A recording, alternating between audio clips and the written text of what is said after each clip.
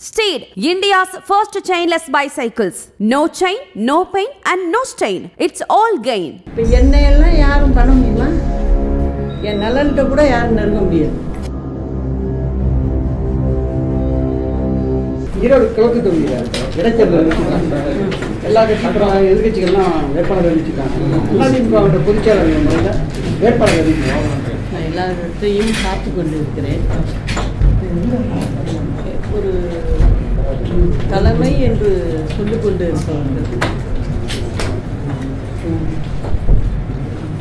எல்லாருடைய ஒப்புதலோடு எதையும் செய்ய வேண்டும். அதுவும் குறிப்பாக தலைவர் அடிக்கடி சொல்வார் ஒருவரை பதவிக்கு படிக்கட்டுகளில் ஏற்றி விடுபவர் தொண்டர்கள். தொண்டர்கள் எப்போதுமே படிக்கட்டின் கீழ்ப்படியிலே நிற்பார்கள். அவர்களால் தான் நாம் மேடையில் நிற்கிறோம் என்பதை உணர்ந்து செயல்பட வேண்டும் என்று பல இடங்களில் சொல்லியிருக்கிறார். அது மாதிரியான ஒரு சூழ்நிலை இன்றைக்கு அதிமுகவில் இல்லாமல் இருக்கிறது. இதுக்கு எல்லாவற்றுக்கும் விரைவான ஒரு முடிவு கீழ்ப்படியில் நின்று கொண்டு இருப்பவர்கள் நிச்சயமாக இருக்கிறார்கள் இன்னைக்கு ஒன்றரை கோடி தொண்டர்களுடைய திருநெல்வேலி சின்னமே இன்னைக்கு யாருக்கு கிடைக்குது அப்படிங்கிற கிடைக்குமா இல்லையாங்கிற சந்தேகமே வந்துட்டு. அவரவர்கள் நடந்து கொள்ளும் முறையை வைத்து தான் எல்லாவற்றையுமே தீர்மானிக்க முடியும்.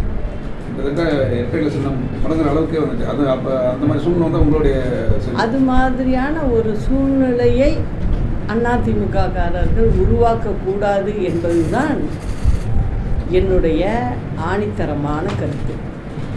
அது தலைவருக்கும் அம்மாவுக்கும் செய்கிற பெரிய துரோகம் அடுத்தது தொண்டர்களுக்கு செய்கிற பெரிய துரோகம் என்று நான் நினைக்கிறேன்.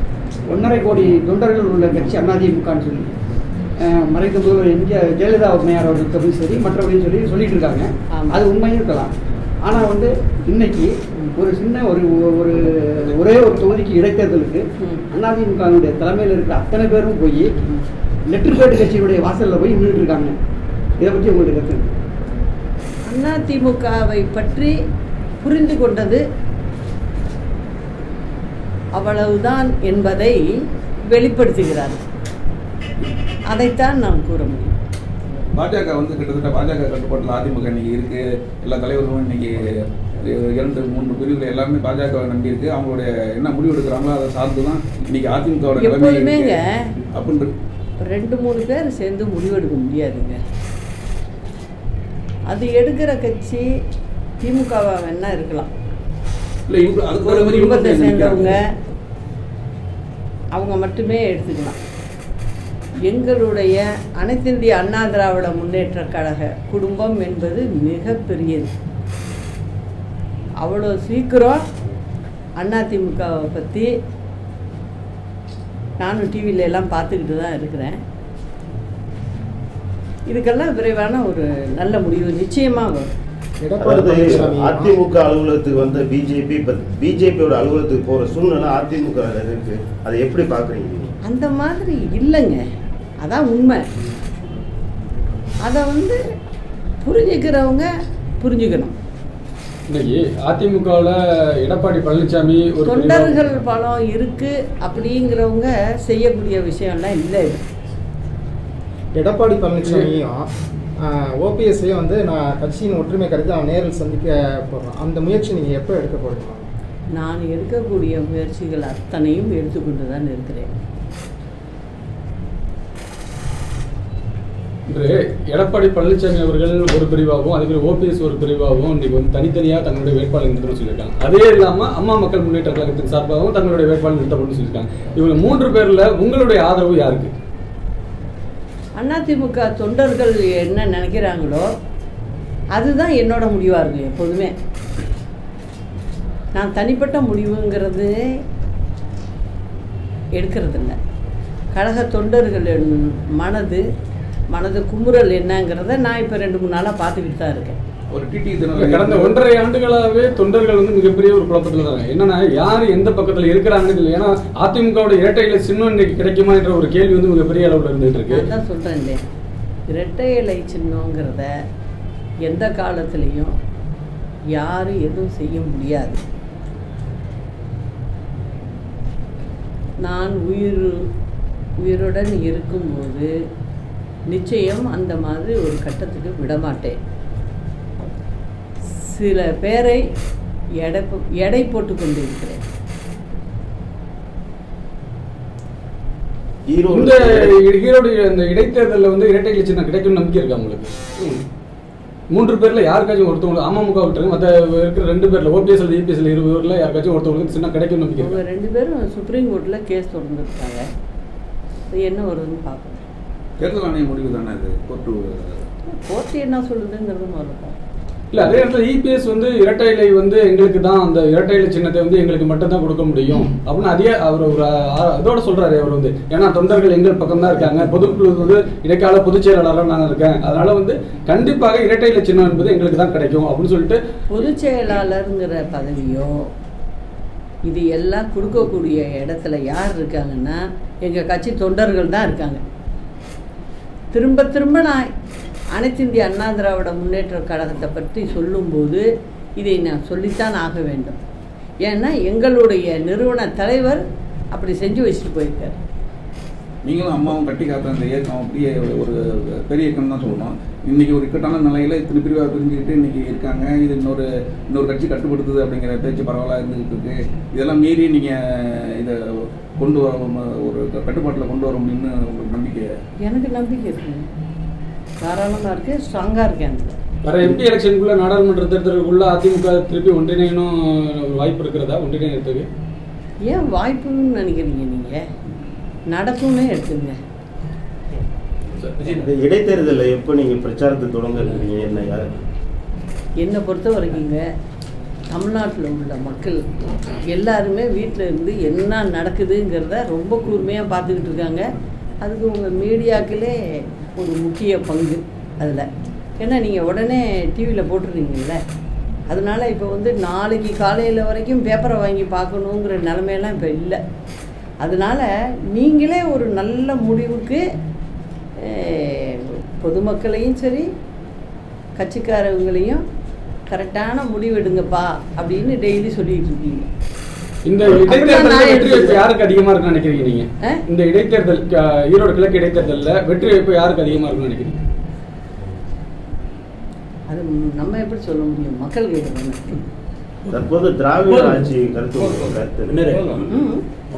தற்போது திராவிட மாடல் கட்சி ஆட்சியை பற்றி நீ என்ன நினைக்கிறீங்க? போகும் இடம்லாம் நான் சொல்லிகிட்டே இருக்கிறேன். அதாவதுங்க ஒரு கட்சி வந்து பிரச்சாரத்துக்கு போகும்போது நான் அம்மாட்ட பார்த்தது கூடவே இருந்திருக்கேன். நாங்கள் வந்து என்ன செய்ய முடியுமோ அதை மட்டும் தான் சொல்லுவோம். ஏன்னா நாங்கள் திரும்ப அந்த ஜனங்களை பார்க்கணும் பேசணும் அவங்க எங்கள்கிட்ட கேள்வி கேட்கக்கூடாது. அப்படிங்கிறத நினச்சி நாங்கள் வந்து என்ன செய்ய போகிறோமோ அதை மட்டும்தான் சொல்லுவோம்.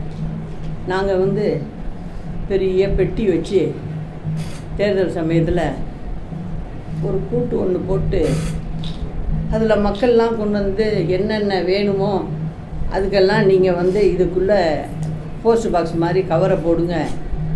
உடனே நான் சீட்லேருந்து எந்திரிச்சு போய் அந்த பூட்டோட சாவியை கொடுப்பா.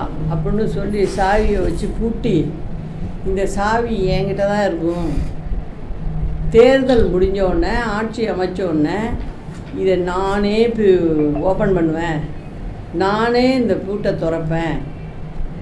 அதுக்கு பிறகு அதில் உள்ளதெல்லாம் எடுத்து பார்த்து இதை வந்து மாவட்ட வாரியாக பிரித்து திருப்பி ஒன்றிய வாரியாக பிரித்து நகர வாரியாக பிரித்து ஊராட்சி ஒன்றிய வாரியாக பிரித்து பேரூராட்சி வழியாக பிரித்து பஞ்சாயத்து வழியாக பிரித்து அந்த நடவடிக்கைகளை உடனுக்கு உடன் எடுப்பேன் அப்படின்னு சொன்னதெல்லாம் உங்கள் டிவிங்களே இருக்கும் அந்த படம். அந்த மாதிரியெல்லாம் நாங்கள் சொல்லி மக்களை ஏமாற்ற மாட்டோம். இப்போ நான் நினைக்கிறேன் அந்த சாவி தொலைஞ்சு போச்சு. இருந்துச்சுன்னா இந்நேரம் திறந்து. ஏன்னா உங்கள் டிவியை வச்சுக்கிட்டு தானே பூட்டுறதெல்லாம் போட்டீங்க. நீங்கள் தான் கேட்கணும் சாவி எடுத்துகிட்டு வாங்கங்க திறங்க. இப்போனாலும் திறங்க ரெண்டு வருஷம் முடிஞ்சு போச்சு. அஞ்சு வருஷம் இதுக்கு அப்புறம் நீங்கள் திறந்தாலும் அதுக்கு வேல்யூ இல்லை. அப்படிங்கிறத நீங்களாம் தான் கொஞ்சம் போட்டு மக்களுக்கு உதவி செஞ்சீங்கன்னா நல்லாயிருக்கும் அதிமுக இப்படி மூணு நாளா பு- சிதறண்டு போனதுக்கு பின்னாடி இருக்கிறது பாஜகங்கிற ஒரு கருத்து இருக்குது. அதனுடைய தாக்கம் நான் ஒன்றே ஒன்று தேர்தல்ல. என்னை பொறுத்த வரைக்கும் நான் ஒன்று சொல்கிறேன் நீங்கள் வந்து அடுத்தவங்களை குறை சொல்ல வேண்டிய அவசியமே இல்லை. நம்ம சரியாக இருந்தால் நம்மளை யாருங்க என்னங்க செய்ய முடியும்? நம்ம வந்து போகாத ஊருக்கு வழி சொல்கிற மாதிரி இருக்கு. எல்லாத்துக்கும் அடுத்த கட்சிக்காரவங்களை நான் பாஜகன்னு சொல்லலை. வேற எந்த கட்சியாக இருந்தாலும் சொல்கிறேன் அவங்க தான் அவங்க தான் அப்படின்னா நம்ம என்னங்க பண்ணுறோம் நம்ம என்ன ஒரு மாதம் குழந்தையா? நம்மளை ஏமாத்துறதுக்கு. அந்த குழந்தைய இவங்க ஒரு நிமிஷம் நான் கையில் வச்சுக்கிறேன் கொடு.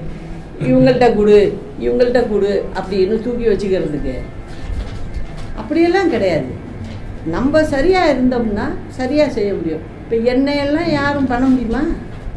என் நலன்கிட்ட கூட யாரும் நெருங்க முடியாது. ஓபிஎஸ் செயல்படுறான்னு சொல்றாங்க. அவங்க ஓபிஎஸ் சைடுல என்ன சொல்றாங்கன்னா இவர் செயல்படுறாங்க. யாரு சொல்றேன். இவங்க செய்கிற நடவடிக்கைகள்லாம் பார்க்கும்போது அது திமுகவுக்கு தான் நல்லதாக இருக்குது அதனால ஒருத்தங்க ஒருத்தங்க திட்டுறதை விட்டுட்டு ஒழுங்காக ஒருங்கிணைந்து இந்த தீய சக்தின்னு சொன்ன திமுக வீழ்த்துறதுக்கு கைகோர்க்கணுங்கிறது தான் என்னுடைய வேண்டுகோள் எங்கள் கட்சியின் தொண்டர்களோட வேண்டுகோள் Steed, India's first chainless bicycles. No chain, no pain, and no stain. It's all gain.